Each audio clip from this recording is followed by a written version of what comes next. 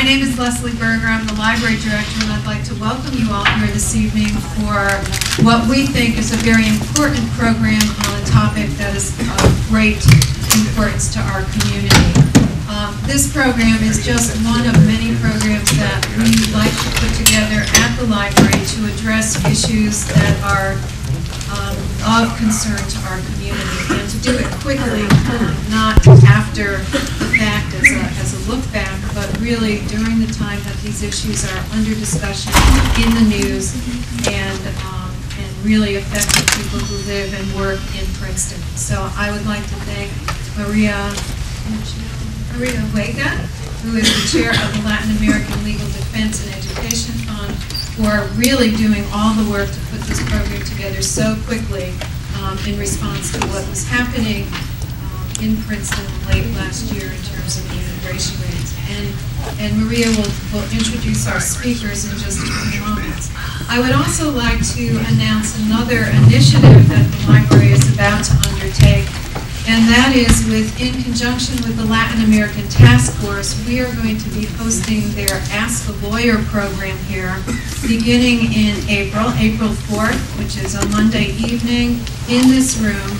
It will be offered from 7 to 9 p.m., and that is basically a drop-in meeting where people can just come in and ask a lawyer for legal cons- consultations on issues related to immigration and general law. So we are pleased to be the host for that program and feel it's very much a part of what we do here at the library, which is to expose people to information in a variety of formats, not just what's contained in books or what they can find on a computer, but what they can learn from people and what we can learn from each other. So we're happy to be the host for that program. And without taking up any more time, I will turn this over to Maria to introduce our panelists this evening. Thank you uh, very much, Leslie. Um, We're very grateful to uh, Leslie Burger and to Susan Roth for opening their minds to uh, holding this forum and opening the doors of the library. Um, And also for Tim Quinn, who designed the wonderful flyer and uh, did a great job publicizing uh, this event.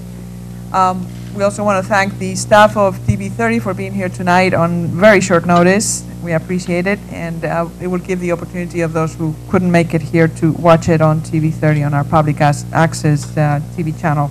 So pass the word. Um, And of course, we're very grateful to our panelists for uh, making the time to be here tonight and uh, enlightening us, um, as I'm sure they will.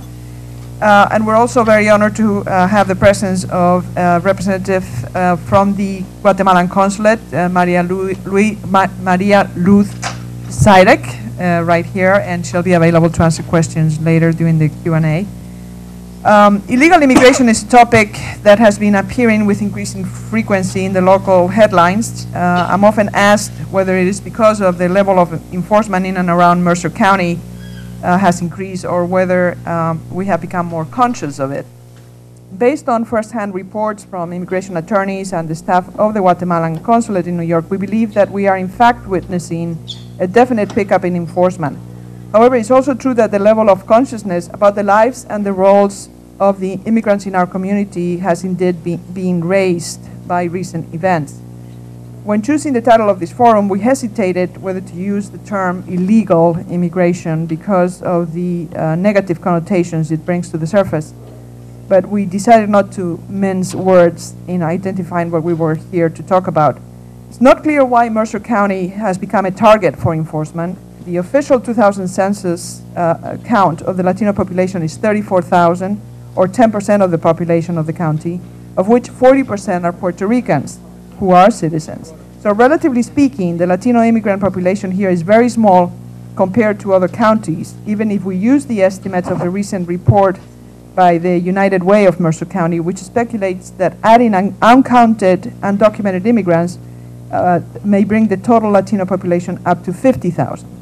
So even though Mercer County may be home to, let's say, 15 to 20,000 undocumented Latino immigrants, this is probably no more than 5% of the total undocumented immigrant population of the state, which has been variously estimated to be between 250,000 and 500,000. Over the weekend, I was fortunate uh, to sneak into a conference in Princeton University with some of the top political scientists on the subject of immigration, which included Professor Bosniak. Although it should come as no surprise to anyone that public perception of illegal immigrants is very negative, I did not know to what extent that is. Apparently, they, the illegal immigrants, together with gay and lesbians, are among the most disliked groups in America today, according to public opinion polls. Um, do illegal immigrants deserve this rap? Are they to blame for the evils of illegal immigration? Are they here to take away the jobs of the poorest, less, less educated American citizens, thus helping to keep wages down for everyone and increasing inequality? Are they taking advantage of our social services, fueling an underground economy, uh, and not paying their fair share? Or are they the pawns of bad public policies that ignore economic imperatives and political realities, the easy targets of political expediency looking to demonize immigrants um, rather than deal with the root causes of a very complex problem? And how do we solve the problems of illegal immigration, which has ballooned into an estimated population of some 10 million uh, and growing apparently by over half a million each year? New Jersey is one of the top destinations for this flow, the fifth state in terms of size of immigrant population, over one and a half million, uh, or 18% of the total population. How do state and local governments deal with this growing population that in many respects is an integral part of our communal fabric, but is barred from access to basic citizenship rights or benefits, for example, a driver's license, the protection of some labor laws, or secondary education? And how do we, as moral human beings, reconcile the abstraction of condemning illegal immigration as a social evil, but with the, with the concrete reality of seeing people we have employed as our housekeepers, our gardeners, the same people who prepare our lunch at the local eatery every day, or clean our office every night, taken away in handcuffs as criminals, jailed, and deported, while their families remain behind emotionally and economically devastated. It takes two to tango. The illegal immigration does not occur without pull factors. As direct or indirect beneficiaries of illegal immigration, what is our responsibility as citizens for maintaining these schizophrenic conditions? We hope that this will be the first of a series of forums which we will explore, uh, in which we will explore other perspectives like the economic and the political. But tonight, we would like to start exploring these questions from two perspectives, the sociological and the legal.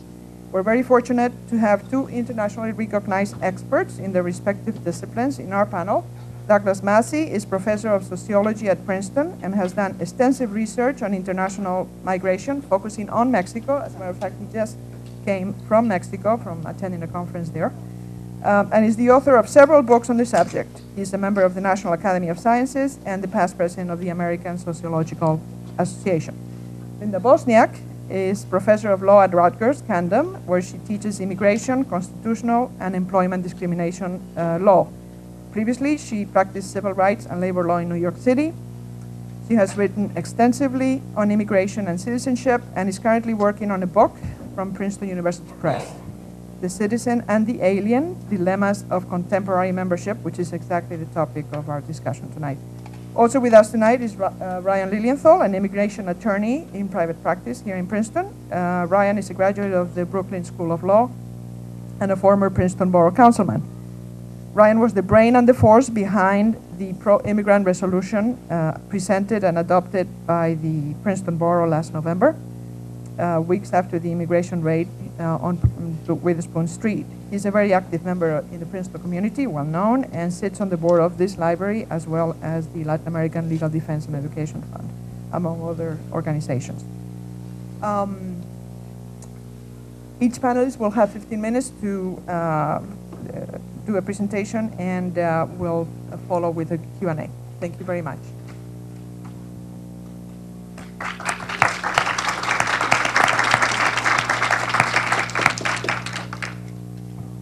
Thank you. I'd say it's a pleasure to be here, but there's a foot of snow outside, and I left Mexico yesterday, and it was 75 degrees and sunny.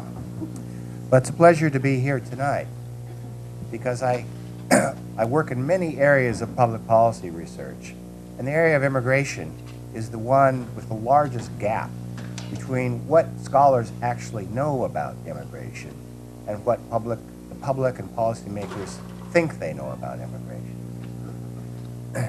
The roots of the current problem go back to 1986. In 1986, the U.S. Congress passed the Immigration Reform and Control Act that was supposed to solve the problem of illegal migration, focused particularly on Mexico. It authorized two separate legalization programs, and over the next couple of years, legalized 3.1 million people from undocumented to documented status, including 2.3 million Mexicans. After the end of the legalization program, around 1990, the undocumented population of the United States was less than 2 million people, according to the best estimates. That was the lowest point in more than a decade. However, as you heard earlier, the undocumented population now stands at approximately 10 million.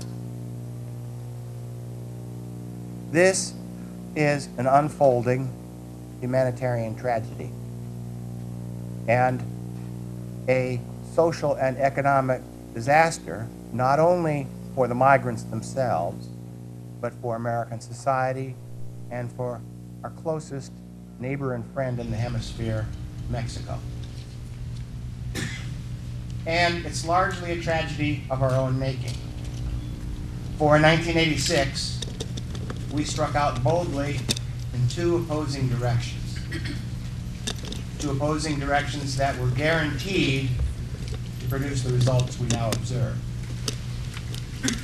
On the one hand, in 1986, under U.S. pressure, Mexico dramatically rescaled its economy and joined the General Agreement on Tariffs and Trade, opening its economy to international investment, international forces, and seeking to participate in global markets. Emblematic of this transformation was the fact that two years later, the President of Mexico extended a hand outward to the United States, seeking to institutionalize those free market reforms and make them permanent through the North American Free Trade Agreement. The North American Free Trade Agreement was negotiated and ratified by Congress under President Clinton, negotiated under the first George Bush, ratified by Clinton, and took effect on January 1st, 1994. Since that date, the United States is committed by treaty to integrating the North American economy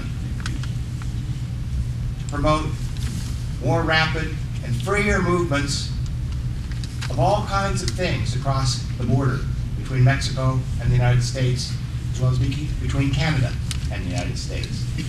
By treaty, we are committed to increasing the flows of goods, of capital, of information, of consumables, of raw materials,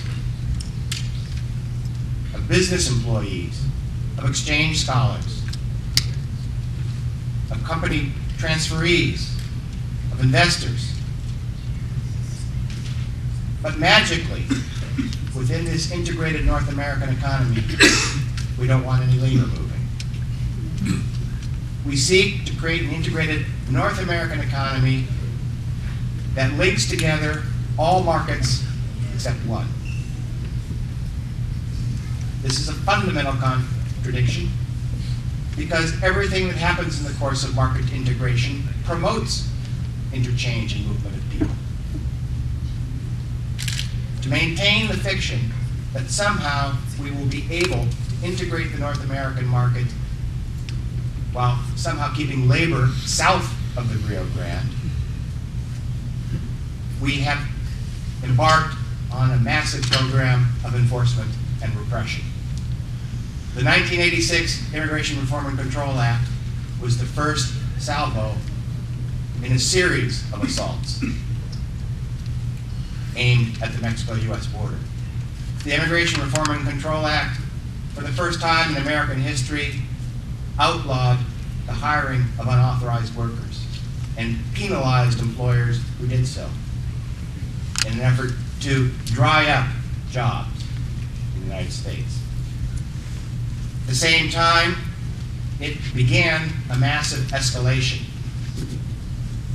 of border enforcement, which accelerated dramatically with the launching of Operation Blockade in 1993 in El Paso, followed by Operation Gatekeeper in Tijuana in 1994. Between 1986 and the present, the number of Border Patrol officers has gone from under 2,000 to more than 12,000. The enforcement budget of the Border Patrol has gone from under $200 million to currently $1.4 billion. This is a militarization of a border with a country with whom we are at peace, of a country that is in fact our largest trading partner. At any point in time, there are probably close, anywhere between 500,000 and a million Americans in Mexico. And there are currently 8 million people, or 10 million people of Mexican birth living in the United States. This fundamental contradiction has produced the tragedy we see unfolding today. Many people believe that Mexico is this poor country from which people flee because they have no other option. Mexico is, in fact, a wealthy country. Its per capita income is about $10,000, just slightly lower than Puerto Rico. It has a $1 trillion economy, 105 million people. Our closest trading partner. And yet, our immigration laws give it the same annual quota for legal immigrants as Nepal or Botswana 20,000 people. Two countries that are at peace, increasingly integrated economically, engaging in a rapid acceleration of flows of all sorts. For that situation to be to have quota of 20,000 is an invitation to undocumented migration. The sad fact about our strategy of border enforcement is that it has not produced significant declines in the number of people entering the United States. The paradoxical fact, the paradoxical effect of border enforcement like that is that it doesn't deter people from entering, it deters them from going home once they're here. If you look at the data, there have been ebbs and flows in the probability of migrating uh, without documents to the United States, largely fluctuating with economic conditions on both sides of the border. No massive increase, fairly steady flow. What has changed dramatically with our rise in border enforcement has been the outflow. The probability of return migration has fallen dramatically whereby in 1986, the probability a migrant would return home after a year was on the order of 50 or 60 percent. It's now down to 10 to 20 percent. If you militarize the border within a country, with a country with which you are at peace and integrating economically,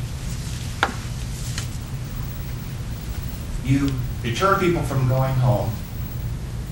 You don't affect the inflow. You dramatically lower the outflow. And we have unintentionally, or perhaps intentionally, if you're a cynic, accelerated the rate of undocumented population growth in the United States.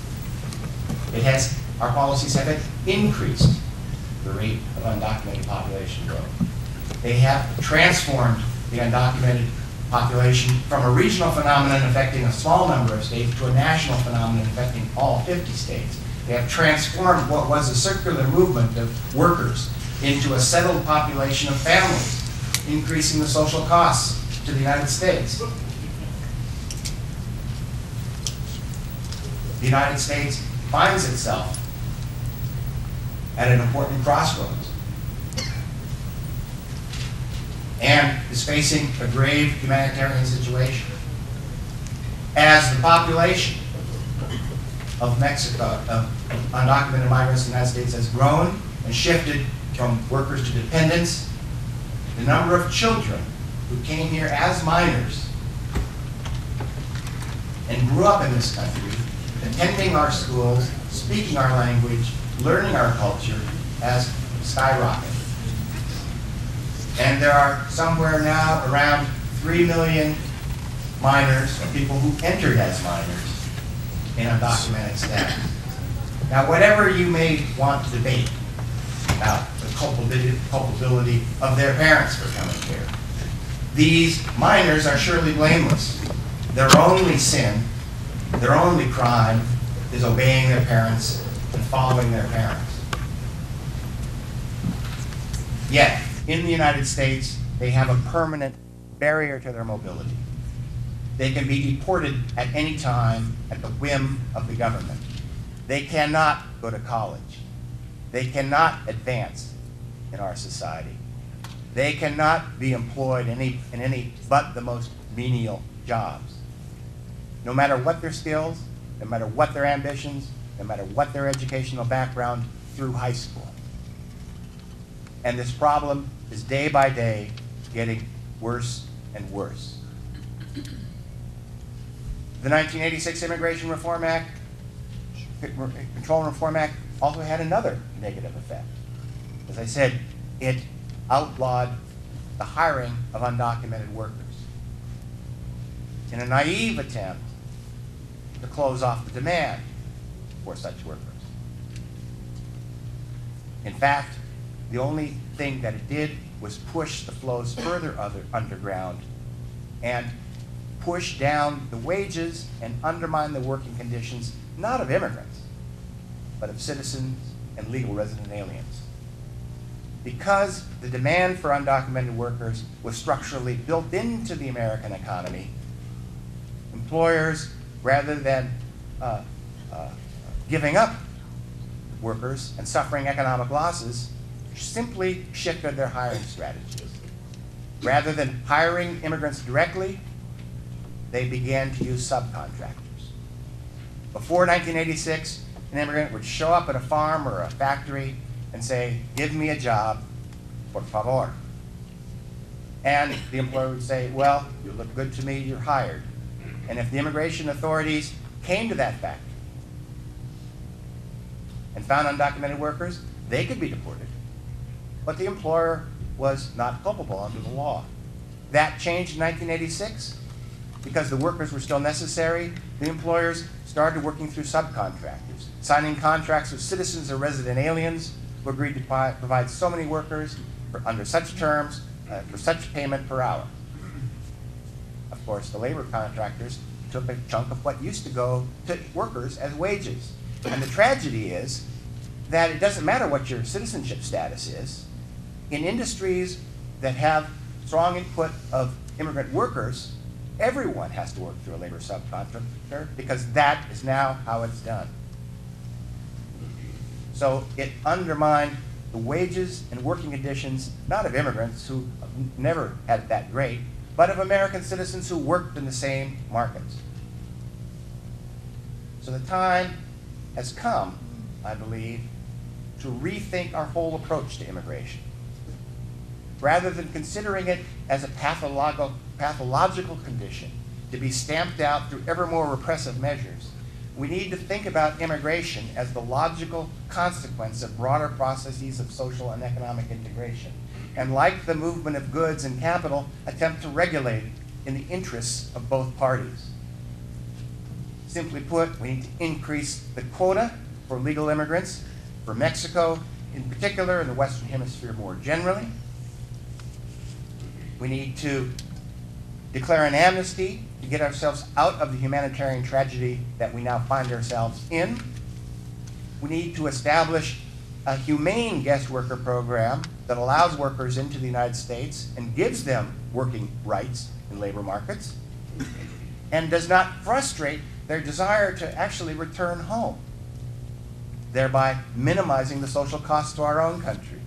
And in setting up these legal programs, we charge them a fee and we collect taxes. And we use that money to offset the very real costs of immigration.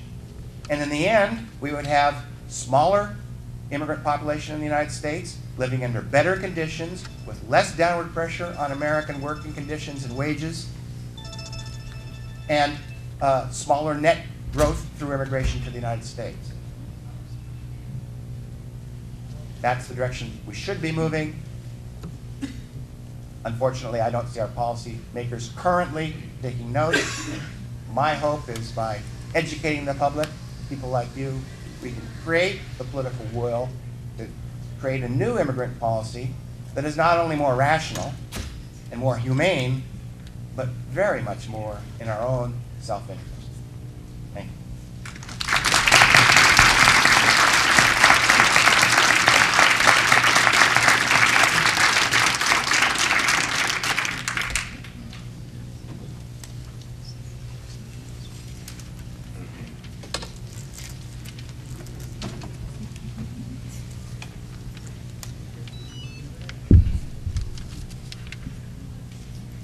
What I'm going to do uh, tonight is to provide a really quick overview of the legal status of people that we call undocumented immigrants um, in the United States in order to provide a context for our policy discussions uh, about where we should be going.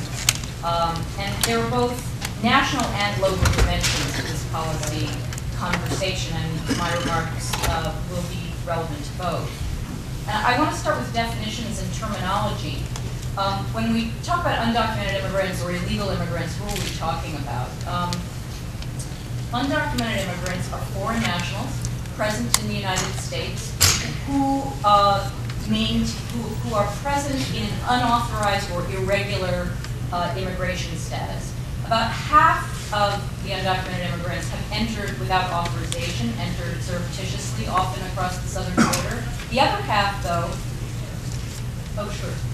Uh, Can you hear me? The other half uh, uh, are people who entered with authorization, with uh, visas, temporary visas, who overstayed or in other ways uh, violated the terms of their visas. So they entered as, as tourists and they, they didn't return home uh, when they were supposed to, or they entered as students and began to work. And it's important, first of all, to just understand that it is not the case that all undocumented immigrants are um, unauthorized entry. A great number are people who have entered uh, with tourist uh, visas or other short-term visas and have overstayed. Um, and undocumented immigrants or irregular immigrants come from all over the world, not just Mexico, although Mexico represents an important, a very important share, and not just Latin America, as is often assumed, but also uh, Europe, Asia, and uh, Africa.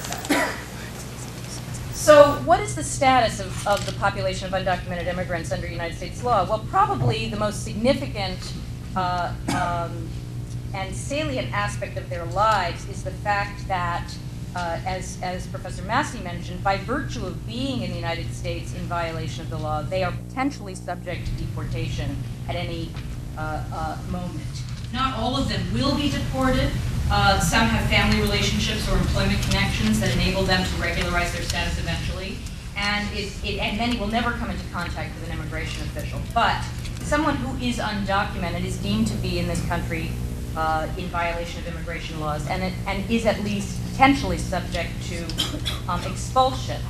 And the fact that they are uh, vulnerable to detention and possible deportation while they live and work here has a huge and defining effect on their experience um, in this country. It means, among other things, that they are they uh, are often afraid to stand up to an abusive employer or abusive landlord or moneylender or spouse for that matter because they are afraid of being reported to the immigration authorities and uh, sent home. What it means, in other words, is that they are especially vulnerable to the abuse of power. But the story of this vulnerability is not the total story of uh, the status of undocumented immigrants in this country. There's another part of um, their legal experience that is essential for us to be aware of as well. Um, the fact is that we live in a society that maintains certain commitments to liberal democratic values that are embodied in our Constitution. Um, and under our constitutional system, under our Bill of Rights, all persons who reside within the United States uh, are entitled to a degree of legal recognition. It says, no person shall be denied the equal protection of the laws. No person shall be uh, denied due process of laws. And for over 100 years now, the Supreme Court has recognized that non-citizens, even undocumented, illegal non-citizens, are included within the class of persons uh, for constitutional purposes. Law that undocumented immigrants are afforded many of the same rights that uh, citizens are. They have the right to own property. They have the right to make contracts, to sue and be sued, to marry, to divorce, to buy, to sell. Um, they are entitled to full due process of law in the criminal context. And it's on the basis of this tradition as well that undocumented uh, children cannot be excluded from elementary and secondary schools. Now, that's not to say that undocumented immigrants are treated as entitled to the same rights as citizens or lawful permanent residents. Far from it. Um, our legal system allows for all kinds of discrimination to be visited upon undocumented immigrants, particularly in the area of welfare rights. Um, but it's true that undocumented immigrants enjoy an important array of rights and protections under American law. And the fact that they are entitled to these protections has allowed them to construct lives that are in many respects not very different from anybody else's. I mean, they uh, work, uh, many taxes, perhaps not with their own social security numbers, but nonetheless uh, do pay taxes. Uh, they develop businesses, they go shopping, they get married, they fall in love, they have children, they send their children to school, uh, and so forth. And you know that when their children are born in this country, uh, when, when, when undocumented immigrants have children born in this country, those children are automatically afforded birthright citizenship. So the status of undocumented alienage and alienage in general is not a hereditary. So I've said that on the one hand, undocumented immigrants are treated as outlaws by virtue of their um, irregular immigration status, and they're especially exploitable because of it. But I've also said that this outlaw status is not the whole of their social and legal identity, because as persons residing within the national territory, they are entitled to certain basic um, protections of law.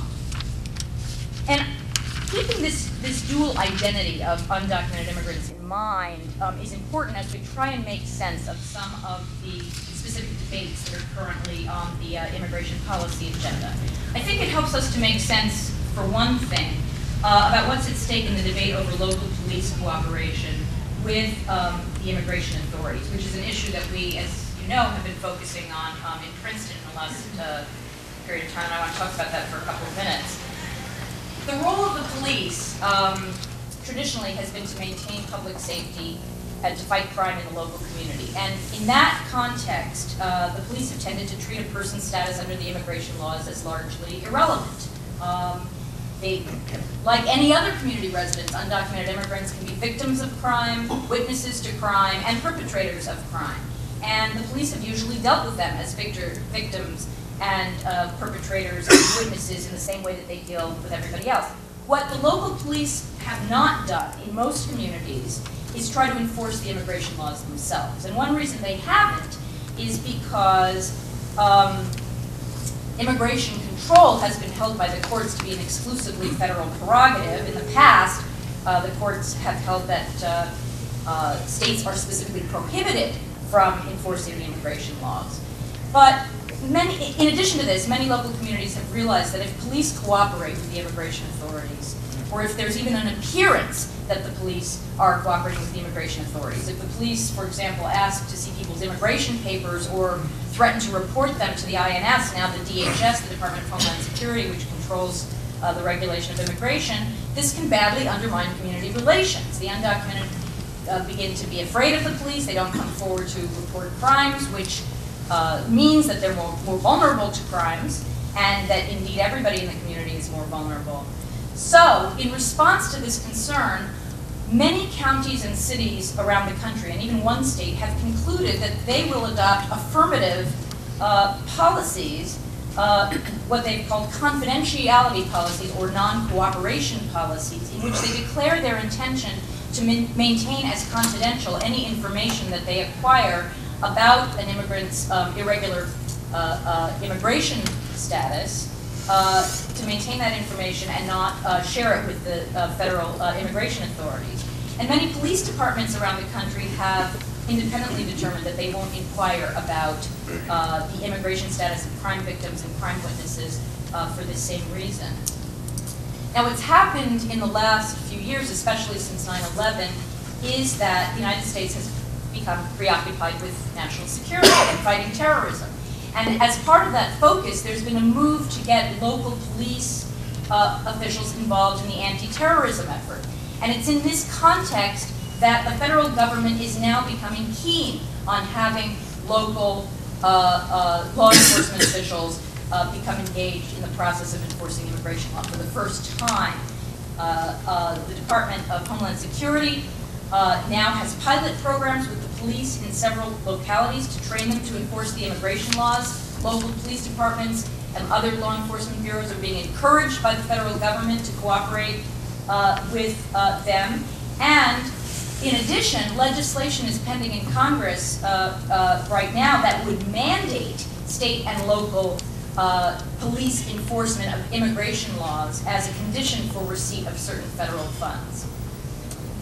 The trouble uh, with all this is that the rationale for local communities to stay out of immigration uh, enforcement still still stands, which is why um, the uh, this past December the International Association of Chiefs of Police came out to publicly oppose this legislation, and this is what the president of the association said about that piece of legislation that I just mentioned that's pending in Congress that would require um, state and local participation in immigration uh, enforcement activities. He said, the IACP opposes any plan that would coerce local and state law enforcement agencies to enforce federal immigration laws without their approval. Many leaders in the law enforcement community have serious concerns about the chilling effects any measure of this nature would have on legal and illegal aliens reporting criminal activity or assisting police in criminal investigations. This lack of cooperation could diminish the ability of law enforcement agencies to police effectively their communities and protect the public they serve. A similar dynamic is playing out with the issue of driver's licenses uh, and uh, undocumented immigrants. Some members of Congress want to require that states' uh, departments of motor vehicles verify the immigration status of applicants for driver's licenses and report uh, uh, uh, information about any apparently unauthorized applicants to the federal government. Of course, I've never known a DMV official to really be in a position to determine who is and is not lawfully able to uh, remain in the United States, but um, nonetheless, that's the effort. And several states have, in fact, um, tightened their own license uh, laws on this kind of rationale, but there are other states that are going in exactly the opposite direction um, and making driver's licenses easier for people, including undocumented immigrants, to obtain. Um, on grounds that uh, it is better for, first of all, better for public safety when everybody on the road uh, uh, uh, is officially registered uh, with the government, and also because they understand that the vast majority of undocumented immigrants are not national security threats um, in any event. These immigrants are here to work, to rejoin their families, to seek shelter from um, uh, violence in their own countries. And commentators point out that uh, national security is actually going to be undermined when you have a shadow population that is afraid of any sort of contact with, with public authority. So what, what, are, what are we to do? Um, many immigration restrictionists hold out the hope that if we could just control the border tightly enough, if we could just keep foreigners from coming in, if we could just deport enough immigrants who are already here, and if we could just make life unpleasant enough uh, for those who are here uh, that they would go home of their, their own accord, the problem of undocumented immigration would disappear. But actually, um, as, as Professor Massey's comments make um, amply uh, clear, the idea that we can entirely eliminate this class through restrictive measures is, is a fantasy. Under current uh, global uh, and domestic economic conditions, people are going to continue to arrive here. That doesn't mean that border enforcement doesn't have an effect on the numbers. Um, but very often, border control has perverse effects. People continue to cross the border, but they die uh, trying to cross in the remotest parts of the desert. People continue to live and work here, but they live further underground because of increasing restrictions and uh, increasing anxiety. So it seems to me that uh, the only sensible thing for this country to do, from a self-interested point of view, as well as uh, uh, uh, the only fair thing for us to do from a moral point of view, is to extend legal status to these un- those undocumented immigrants who live and work here already, to provide a form of legal status that can eventually lead uh, to citizenship. Um, Unfortunately, the guest worker program recently proposed by President Bush uh, uh, begins to uh, uh, put the issue of uh, undocumented immigration on the agenda, but it doesn't go anywhere near far enough. It would um, grant temporary status to many undocumented immigrants who are uh, already here, but the proposal as it stands does not provide a pathway to citizenship or lawful permanent residence for that matter, and that's a really um, fatal problem. There is another proposal, there are many other proposals that are being discussed uh, at the moment. There's one proposal that would provide for uh, what proponents have called earned legalization, uh, an adjustment for people who have worked here.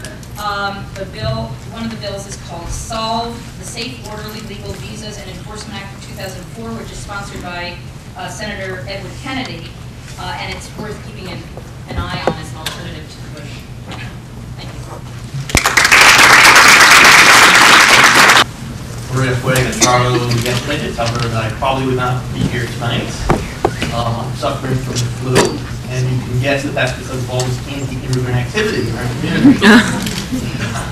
Um, uh, Professors Ma- uh, Massey and uh, Bosniak have really covered a lot, of, a lot of the territory that I wanted to touch on. Um, so let me just move uh, uh, quickly through some of the themes that I wanted, that I, that I wanted to hit, and maybe reframe some of the issues that they talked about. Um, one, I think we have to recognize that we have a problem of illegal immigration the country. Have, um, the estimates are 8 to 12 million undocumented immigrants. It's a problem. And you know, I, I view it, I view the solutions as two general, in two general directions. One is you can try to deport them all, um, or two, we can try to develop a legalization program. And I think it would be great if we had some university students who could do a cost-benefit analysis of um, what would work better. Um, Is the, with the investment in trying to deport the 8 to 12, 12 million undocumented immigrants be more cost-effective, um, or for that matter, doable at all, um, or would providing undocumented immigrants the opportunity to legalize their status, to come out of the shadows, uh, to become fully participating members of our community, um, would that be the better route? In the meantime, let's view it in the national security context. Right now, the government, um, is, it says, is in search of terrorists, and the haystack that they're looking for these few terrorists are 8 to 12 million individuals.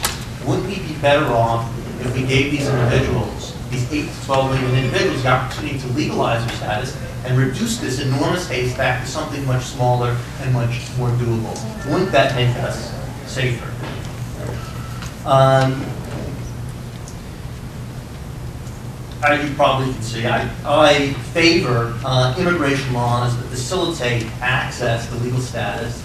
Um, and I believe that laws that do that will help protect Americans, will further uh, family values, and will enhance the U.S. economy.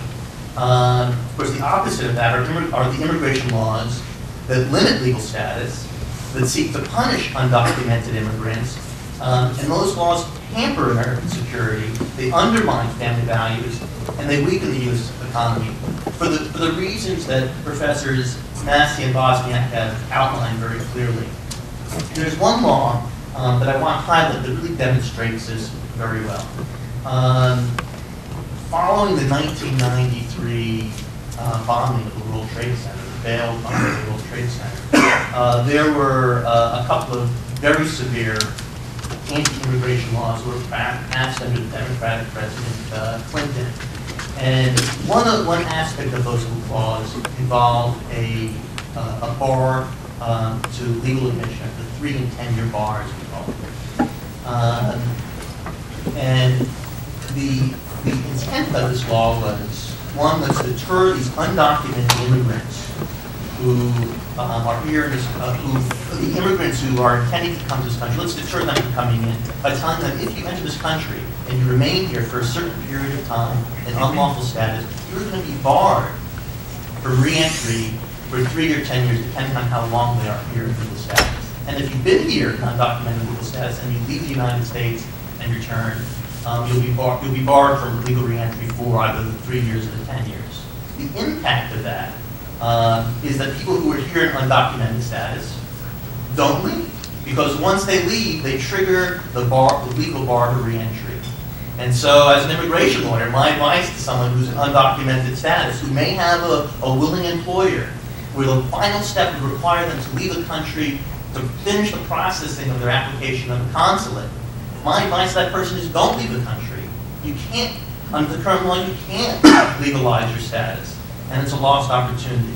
So here's a self-defeating law. The intent was, let's punish the immigrants, and what do we have? We have 8 to 12 million undocumented immigrants in this country. If there's one thing this government does um, that would be very simple to do, is get rid of the 3 and 10 year bar. That way you can have someone like me advising my clients to leave the country when they have a willing sponsor, and to come back through all the security filters that we want them to come back through, and to re-enter in legal status.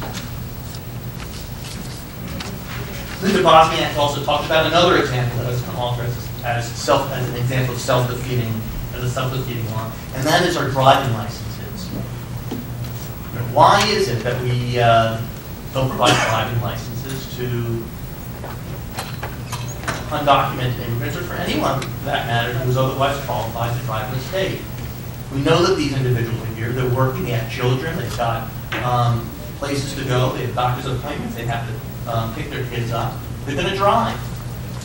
Aren't we better off putting people who are tested on the road, people who have insurance on the road? Because I tell you, I don't want to be an individual who is struck by an, undo- an undocumented, unlicensed, uninsured individual and have to cover those costs because of the way our insurance uh, laws work in this country. We're much better off giving these individuals the opportunity to have driving licenses. We're better protected as Americans. Um, now me focus in on the area that I've been most active, uh, active in our community, and that's um, um, to what extent um, should local municipalities be involved uh, in immigration enforcement? And Linda Bosniak went to, um, gave some nice detail and background into what's been happening since September 11th. Um, Following September 11th, the Attorney General basically, uh, John Ashcroft, um, set back, uh, set the stage um, for what we're now seeing by changing what had been the policy of uh, prior administrations, which is that local uh, and state governments do not have authority to enforce immigration laws. And the policy that Attorney General Ashcroft um, uh, promulgated is that um, local and state uh, governments have inherent authority, um, totally reversing um, the approaches of prior administrations, and have an inherent authority to enforce immigration laws. And what we've seen since then is a fairly aggressive effort on the part of the administration to enlist or deputize um, local police in helping um, and enforcing, helping them to enforce immigration laws. Um, the issue, as many of you are familiar with now in, in our area, um, uh, first became a concern in this past spring. Uh, we saw a series of raids uh, in Trenton, early morning, in-home raids uh, in Trenton. There was a lot of concern whether the local police uh, were involved in those enforcement activities. I think what we've seen um, since then is they probably were not involved. Um, but sure enough, um, we saw raids in West Windsor, and we saw one on Wilson Street in Princeton, uh, where our local law enforcement was tangentially involved. And the immigrant community, immigrant ad- advocates became increasingly concerned about uh, the extent to which local police would continue to get involved. And there is a continuum of involvement that we should all be concerned about. Um, that involvement in our local uh, municipalities could be involved, in- could, could be as, um, as small as providing some information or backup to immigration and custom enforcement officials when they conduct a raid. Uh, they can assist in a raid. Uh, they can report immigrants for, uh, vi- um, for violations, um, when they pull people over, um, um, for violating our traffic laws. Um, Or they can, or municipalities can affirmatively seek to uh, assist um, governments um, by entering into agreements with uh, the Immigration and Customs Enforcement Agency, with the Department of Homeland Security. Um, The, um, um, um, the immigrant advocacy groups in, um, in Mercer County in particular have been very, have been working very hard to um, encourage local law enforcement to set clear guidelines for municipalities, and particularly for the local police, um, in, in terms of what, to what extent we want the municipalities involved in local law enforcement. Um, um, Latin American Legal Defense and Education Fund, um, and a number of other um, um, advocates have um, worked to introduce an ordinance in Princeton Borough, which is still under consideration and is before the Public Safety Committee that- that seeks to do three things.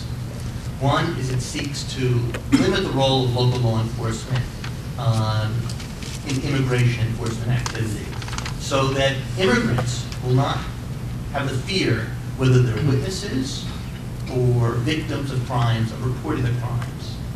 Um, They they should also not have the fear when they're walking in the street that they encounter a police officer, that they're going to be picked up and reported to Immigration and Customs Enforcement. Um, And we've seen in, um, we've seen quite uh, uh, tragically um, in Princeton, the effect uh, of immigrant fear of local law enforcement. Um, Many of you may recall um, um, in October around Halloween uh, that there were uh, attacks that had targeted immigrants. And um, one of the police officers who, uh, who was commenting on the incident pointed out that the, that because they're perceived as undocumented immigrants, make easy targets. Because the perpetrators believe that the individuals will not report the crimes to the police. And that's exactly what we saw with these incidents. The individuals did not report the crimes to the police, and the witnesses of the crimes did not report the crimes to the police because of their undocumented status. So, the ordinance that was introduced in Princeton Borough, one aspect of it was covering um, limiting local law, local law enforcement's involvement in immigration enforcement, so immigrants have the confidence to interact with uh, and to contact um, local law enforcement when emergencies arise. And by the way, this also applies to to the case of fire hazards. That there's a fire in the house, you want an, an undocumented immigrant to call the fire department. If someone's having a medical emergency, you want you want the individual to call the ambulance. Um, the fear of uh, authority applies equally to the police, to the fire department, anyone wearing a uniform. A second aspect of the ordinance that was presented uh, deals with uh, solicitation of information by government officials. Um, an An individual may uh, seek a benefit from the municipality, and encourages uh, um, the municipality to uh, limit the information that's solicited regarding immigration status to just that, just the information that's required by uh, federal or state law. And the third aspect of the uh, proposed ordinance um, talks about confidentiality, and it underscores that if information is required regarding immigration status, that that information will be kept strictly confidential.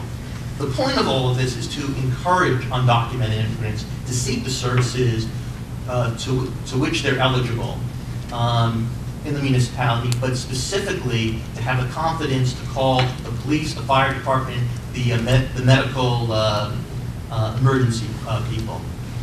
Um, In the meantime, Princeton Borough's passed a uh, resolution while it's considering the ordinance um, in the Public Safety Committee. And the resolution does two very positive things. One is it encourages our federal government to pass smart, rational immigration laws, the kind that Professors Massey and Bosniak talked about. And the other thing it does is it directs the municipality to work in conjunction with the police chief to develop a policy that is consistent with the ideas that are um, talked about in the proposed ordinance. In the meantime, other activity, there's an organization called Impact, um, Immigrants Public Advocacy Coalition of Trenton, that has been working with uh, the mayor of Trenton um, to pass very similar um, legislation in Trenton. And in fact, the mayor passed an executive order that does just that. It does, it covers all the themes that were covered by the ordinance, and um, it's a uh, very positive, um, very progressive step forward, that I think will uh, go a long way towards encouraging um, immigrants to accessing the services, particularly the local law enforcement services, uh, in the city of Trenton.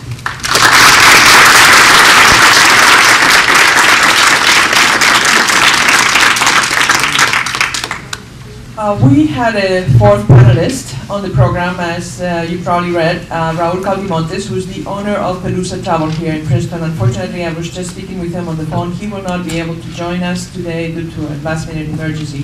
Fortunately, we have a trustee of the Latin American Legal Defense and Education Fund, Estuardo Arriola, who is willing to take his place uh, on the spur of the moment. So he's not prepared with a formal presentation, but let me introduce him briefly, and he's uh, willing to uh, speak a little bit about uh, the uh, how what's been happening in these last few months is affecting the local community. Um, Estuardo is a long-term uh, resident of, of the Princeton area. He's uh, originally from Guatemala. He came here as a teenager, um, and um, it, he's a legal, legal immigrant. Um, and uh, he's been, he's been a, a trustee of, of the Latin American Task, uh, Latin American Legal Defense and Education Fund, and um, very involved in, in various activities with the community. Um, Estuardo, why don't you give us a, a, a sense for what's what's the feeling in the community right now? Buenas noches. Well, told you already my name. And, um, only I like to say this, the uh, feelings we have in this area since I, uh, uh, since everything happens.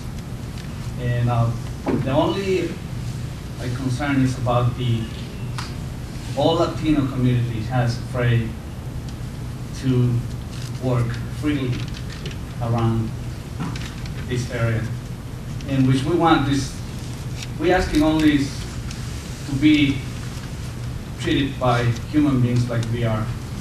I came a long time ago to the United States and I just came for a better life and to give to my family the, the best I can. And thanks God, I, well, for me, I've been doing good. I Got my kids in school. I have the chance to give them, give them the best I can. And uh, that's all. That, that's all we need for all our community. To have the chance to take our kids to school, have better education, and uh, to grow up safe.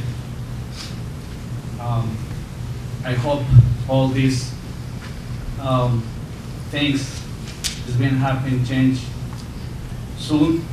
That's my hope.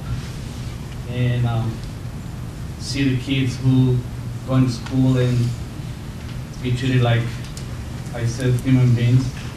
And um, take the, all the chances they have to be educated. And for us as parents we just like to work like I, like we want. You know we need to support our families.